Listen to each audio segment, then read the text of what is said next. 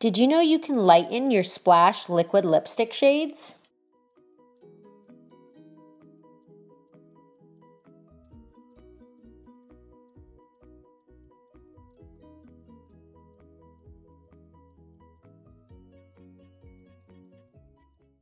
Mix a little Victorious Splurge Cream Shadow with your Splash liquid lipsticks.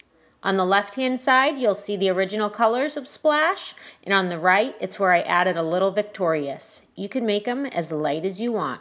The possibilities are endless.